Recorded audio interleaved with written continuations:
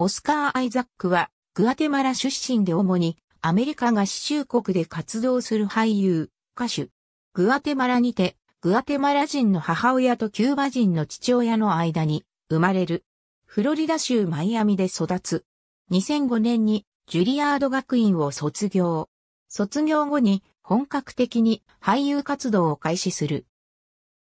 2008年、レオナルド・ディカプリオ主演のワールド・オブ・ライズで共演して注目を集める。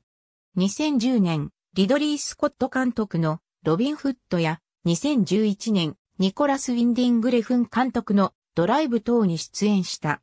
2013年、公演兄弟監督、インサイドルーウィン、デイビス名もなき男の歌で主演として抜擢される。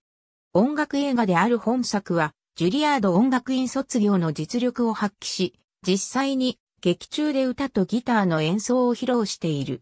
また、同作は第66回カンヌ国際映画祭コンペティション部門に出品され、グランプリを受賞した。自身も全米映画批評家協会賞主演男優賞などを受賞し、ゴールデングローブ賞主演男優賞にもノミネートされ、注目を浴びる。2015年、スター・ウォーズシリーズの続編で第7作目の、スター・ウォーズ、フォースの覚醒への出演を果たしたことで知名度が一気に増え、人気俳優の地位を不動のものとした。ありがとうございます。